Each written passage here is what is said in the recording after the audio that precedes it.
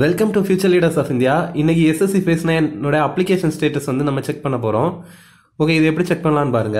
அதுக்கு முன்னாடி முதல்ல மூணு லிங்க் இருக்குது ஃப்ரெண்ட்ஸ் என்னென்னா மெட்ரிகுலேஷன் லெவல் அப்படின்னா டென்த்து லெவல் கீழே டிஸ்கிரிப்ஷனில் இந்த லிங்க்லாம் கொடுக்குறேன்.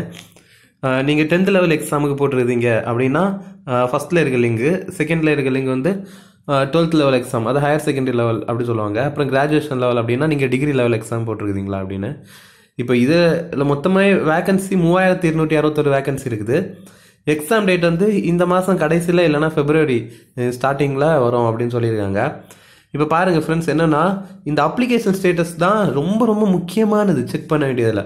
இப்போ பாருங்கள் ஏன் அப்படின்னா இதில் நீங்கள் உங்கள் அப்ளிகேஷன் அக்செப்ட் ஆச்சா இல்லை ரிஜெக்ட் ஆச்சா அப்படிங்கிறது தெரிய போகுது.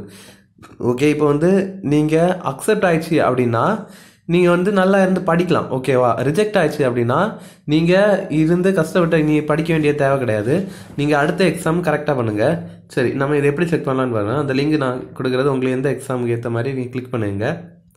இப்போ பாருங்கள் உங்களுடைய ரெஜிஸ்ட்ரேஷன் நம்பர் இங்கே என்ட்ரு பண்ணுங்கள் அப்புறம் உங்களுடைய டேட் ஆஃப் பர்த் இங்கே நீங்கள் என்ட்ரு பண்ணுங்கள் இப்போ வந்து சும்மா ஒரு எக்ஸாம்பிளுக்கு நான் ஒரு டேட் ஆஃப் பர்த் என்ட்ரு பண்ணுறேன் அப்படின்னா என்ட்ரு பண்ணிவிட்டு இங்கே நோ யுவர் அப்ளிகேஷன் ஸ்டேட்டஸ் அந்த மாதிரி கொடுத்தா போதும். இப்போ எல்லாம் அக்செப்டட் இல்லைனா ரிஜெக்டட் அப்படின்னு வரும்.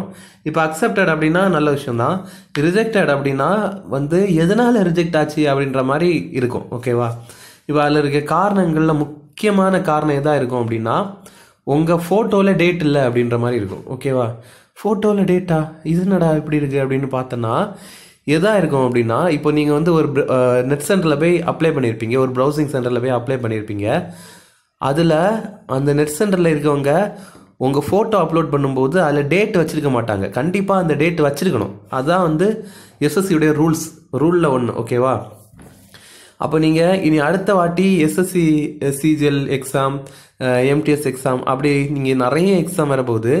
அந்த எக்ஸாமில் எல்லாமே நீங்கள் வந்து ஃபோட்டோவில் டேட் இருக்கணும். ஓகேவா அதை எடிட் பண்ணியோ ஃபோட்டோஷாப் பண்ணியோ ஏதாவது பண்ணி உங்கள் ஃபோட்டோவில் டேட் வந்து எடுத்துங்க வச்சுங்க.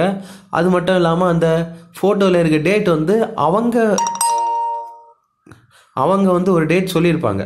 இந்த டேட்டுக்குள்ளாடி இருக்கணும். இப்போ வந்து இன்றைக்கி வந்து பதினெட்டாம் தேதி ஜான்வரி ரெண்டாயிரத்தி இருபத்தி ரெண்டு.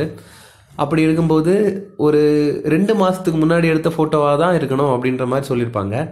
அப்போ நீங்கள் அந்த டேட்டையுமே அதுக்கு ஏற்ற மாதிரி தான் வைக்கணும் ஓகேவா இப்போ வந்து போன மாதம் ஒரு இரு இருபத்தஞ்சாம் தேதி அந்த மாதிரி கூட நீங்கள் வைக்கலாம்.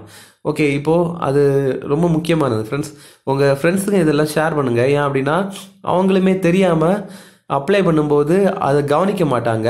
இன்னொன்று நெட் சென்டரில் இருக்க நிறைய பேருக்கு தெரியல அது. நெட் சென்டரில் ஒர்க் பண்ணுறவங்களுக்கு நிறைய பேருக்கு தெரியல. அதனால் அதை நீங்கள் ஷேர் பண்ணுங்கள் நம்ம சேனல் சப்ஸ்கிரைப் பண்ணுங்கள் இதே மாதிரி இம்பார்ட்டண்ட்டான எக்ஸாம் அப்டேட் எல்லாமே நம்ம போட்டுட்ருக்கோம் நம்ம சேனலில் போய் பாருங்கள் ஓகேவா நீங்கள் சப்ஸ்கிரைப் பண்ணீங்க அப்படின்னா கண்டிப்பாக எல்லா எக்ஸாம் அப்டேட்டும் நீங்கள் தெரிஞ்சுக்கலாம். ஓகே நம்ம இந்த வீடியோ பிடிச்சிருந்தா லைக் பண்ணுங்கள் நன்றி.